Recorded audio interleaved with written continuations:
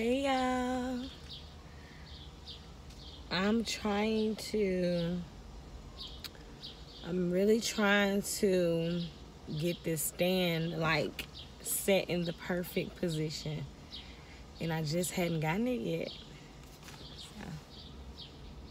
I don't know how that look like stern wheel. I really don't want that stern wheel to be in the way, but can y'all like focus on me and not the stern wheel? And I got so much stuff hanging up here. But I hope y'all are having an amazing day today. Doing whatever it takes to look good, feel good, just be great. Oh Lord, even before I speak, I pray just like you take over. Decrease me and you increase in me wisdom, knowledge, and understanding. Because I definitely don't want to be speaking on my own.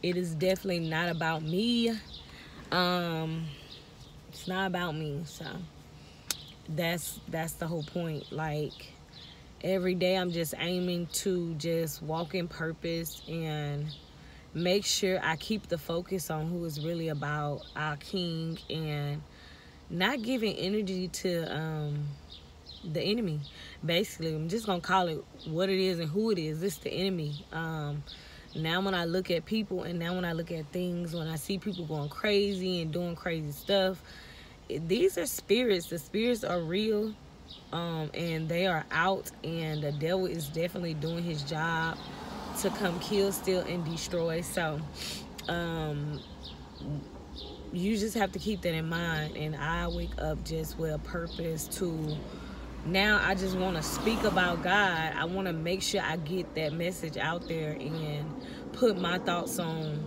and my thoughts and not just my thoughts they are really facts and just the way I feel um, about who I believe is is my way and who I believe in Christ is and uh, you know everything that he put in me and the you know all the blessings he blessed me. So it's just my way of i know i have to speak about it.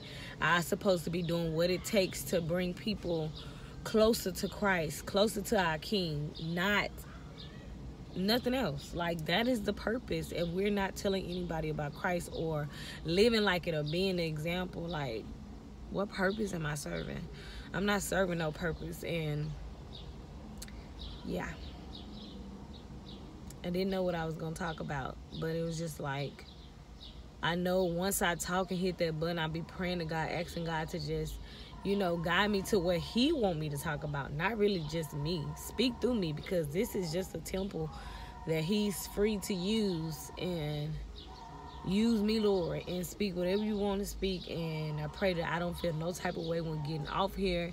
I pray that I can post it without any hesitation. I don't even think on it to be honest, when I do these videos, I just do not even look at them.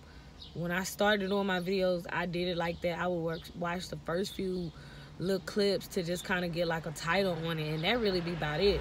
But I don't watch them to um watch them to see because I'm too picky about myself. I already think I look crazy. I already think my teeth is too yellow, my eyes, dark circles is too dark. I got bumps everywhere. So if it was left up to me, I would be breaking down every time something about myself. But um, it's not about me. I have to keep in mind it's not about me. And plus, I have to be happy with who God created me to be. Like, I got to be okay with me. I got to love me and know that how I look and what I look like now is enough for whatever God's purpose is. How I look now, I look my best and I am my best and you know make sure i'm doing everything to you know be that and you know hey you know you're on the right i'm on the right steps. But um it definitely takes work. It's not something that i woke up and was like let me think about my purpose today. It wasn't something that i woke up and say okay let me walk in purpose today. Let me speak with purpose. Let me do a video and you know tell somebody about Jesus Christ. It don't be like that. Um, just throughout to the throughout the day, I'm just thinking about how thankful I am, and just I'm so thankful. And I'm just so thankful and I'm so excited. Every day to me is a blessing. When I wake up, that is just my aim for it just to be an amazing day. If I can keep a smile on my face all day, happy, and everybody who come in my path, everybody who around me, happy, joyous, do what it takes to, for me to leave my greatness on around them, you know. Like tell them I love them, give them a hug. It might not even be much. Just listen to what they gotta say. Love on the kids, you know. Just that little stuff matters. Even my kids, listen. Just listen to the stuff that they have to say.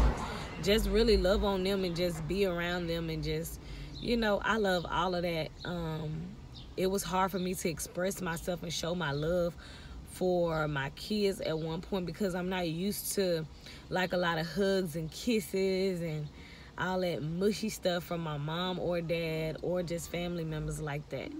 Um, we ain't used to all that. Now, as we get older, we do it a lot, but I, it was something I had to get used to with my kids because they love to hug and kiss and be under. So it's just like um, something that I had to change. So I definitely had to change it and work on it because it was not easy for me to show affection.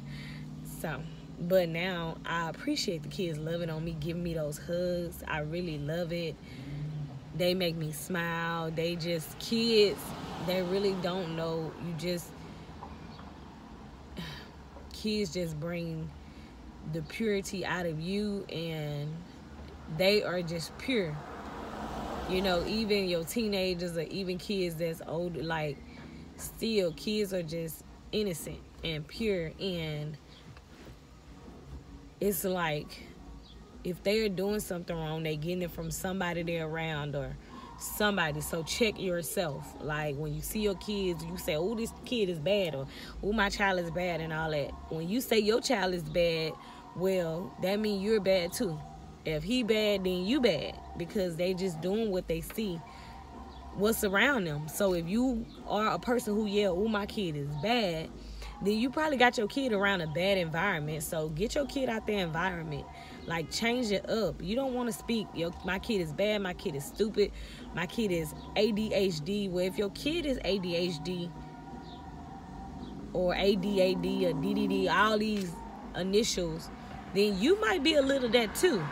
Because the kids is not just coming out born ADHD. They ain't just coming out being hyper and stupid or crazy or bad. They come, they your seeds. So you have to look at the root on where it comes from. Not sit there and put them down as if it's their fault. They are innocent. Until they grown and out your house. Yeah, they are innocent. Now when they hit 12 and able to know, then it's a difference. But most people be calling a two year old bad or a three year old bad. And it's just like they not bad. They're learning. They're learning. They're um, curious about things. They want to know about stuff. Like they want to learn. Their minds in a learning process. This one we supposed to really speak positivity, regardless if you think they're listening or they repeat it or they know it. You just say, "I love you. I love you. You're a king. You're special. You're beautiful." We need to speak those positivities and affirmations in our kids while they're young because that was build their confidence and self-esteem and all that stuff up. So I know I didn't receive that as a child, and now that I look at it, it's really important. So, feed your minds so you can feed your kids' minds with positive thoughts every day. I do it every day now, and I'm trying to make it a 21 day thing. Listening to affirmations about myself, repeating them over and over and over.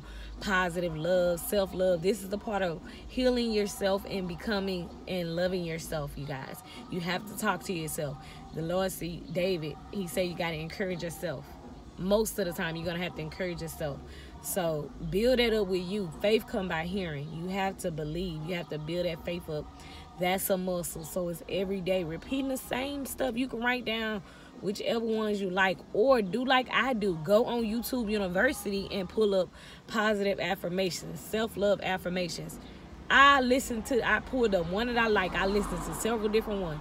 I listen to the same one every morning, and I listen to the same one at night. Well, I kind of switch back and forth from the ones at night. Either I'm listening to the Bible at night, or I'm listening to a self love or some meditation thing at night, all night. When I wake up, go use the bathroom, I continually play.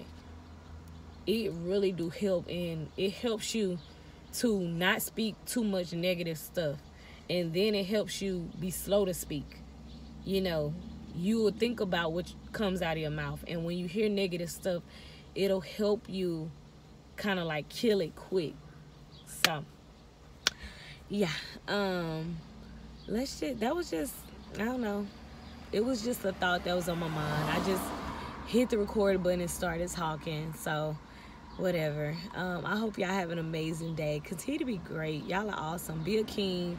I love you guys. And just do you. Be you. Be happy. I love y'all. Bye.